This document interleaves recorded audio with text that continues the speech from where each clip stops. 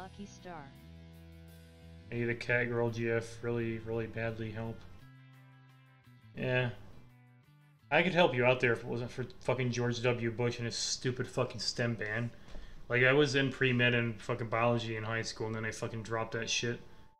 I was gonna go into molecular bio- biology and genetics, but then fucking that asshole moron who crashed those planes into those towers fucking banned STEM research, and then I, like, I literally couldn't do what I fucking was aspiring to do as a kid. Like, I couldn't do the genetic research anymore. So then I fucking uh, just kind of meandered around and with my biology degree for like five years, and then I eventually got it. And I realized I can't fucking do anything with a biology degree unless you take it to like the PhD level. Then I had to go back for computer science, and by that time, by the time I got a computer science degree, everyone already had a computer science degree. Like that's why I can't get a fucking job. Cause like, fucking programming is like knowing how to write these days. Like everyone can fucking program, thanks to Obama and this stupid fucking programming initiative. And you got Khan Academy there, so all the kids know math now. As opposed to me, like I had a Swiss cheese brain when it came to math because you didn't really have any good resources for math. You just had I just had my math teachers, and the way my brain works isn't suited for like lectures because I fucking my brain just randomly zones out and starts daydreaming like every other five seconds. So I could I'd always fucking miss something in math class, and I didn't want to be that asshole kid that was like raising my hand asking what the fuck she just said and holding everyone else back. So I just wouldn't say anything.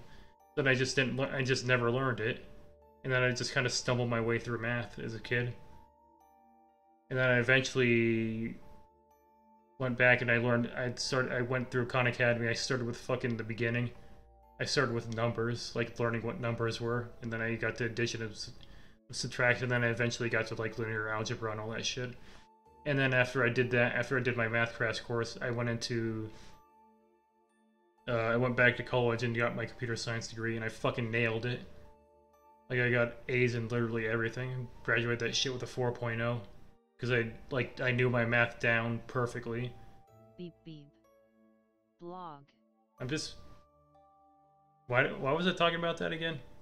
How did I get on that from fucking cat girls? Beep beep. Ron Paul was gonna make cat girls real. Oh yeah, that. Beep beep. Wasn't it a 3.9 something? Well, that's if you factor in my biology degree. My overall was like 3.95 or 3.95, I think. My my computer science was 4.0. I like got every A's and A plus and everything. So I think that came close to a B was uh, computer ethics or whatever, compu- ethics of computer science or something. It was code for public speaking. That's how they weeded out the autistic kids. I don't actually have autism, so I was able to get an A in that class. Like I'm a fucking Twitch actor. I have public speaking skills. And I learned it from that class. Uh. Anyways, just started reminding me that I'm a failure, so it gets a zero. Fuck you. Fuck you for reminding me that my dreams were crushed by uh, George Bush. Fucking hate that guy. And I voted for him. no, I didn't really vote for him. My dad told me to vote for him, so I don't think that counts.